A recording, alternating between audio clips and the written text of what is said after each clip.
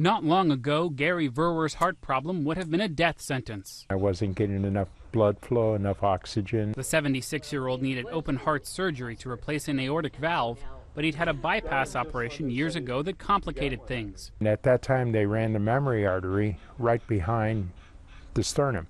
So if they saw through it again, uh, he was going to saw through the artery.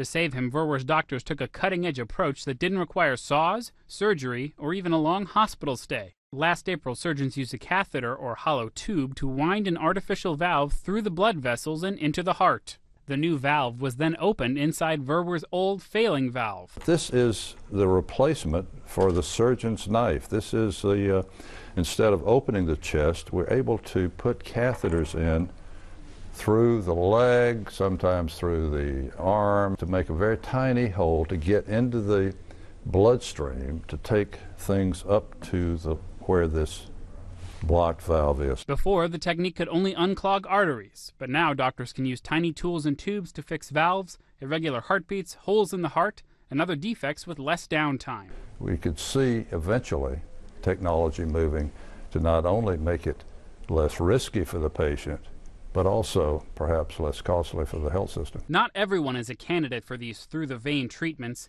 and some aren't yet widely used.